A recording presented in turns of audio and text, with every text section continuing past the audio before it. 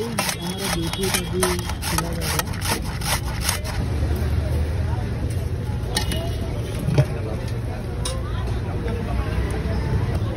Guys beetroot की juice में अभी हमारा बेटर जो है वो मिक्स हो रहा है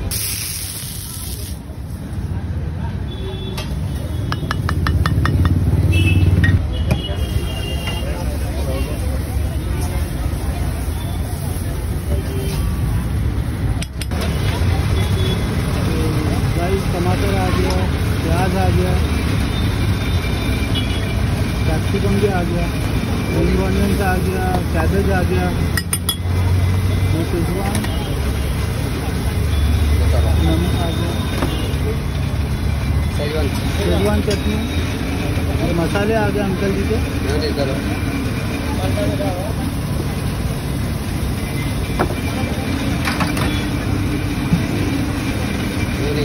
मेयूनीज आ गया बटर आ गया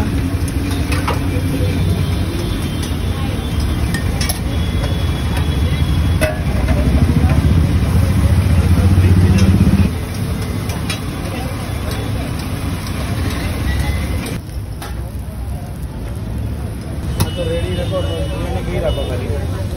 चीज़ आ गया। में ले लेगा गाड़ी।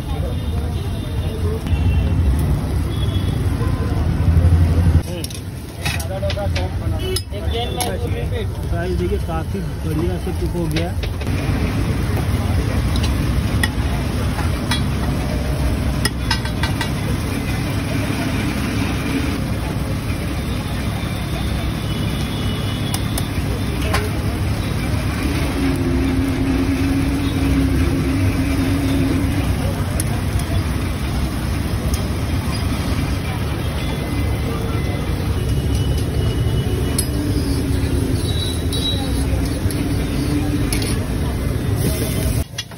तो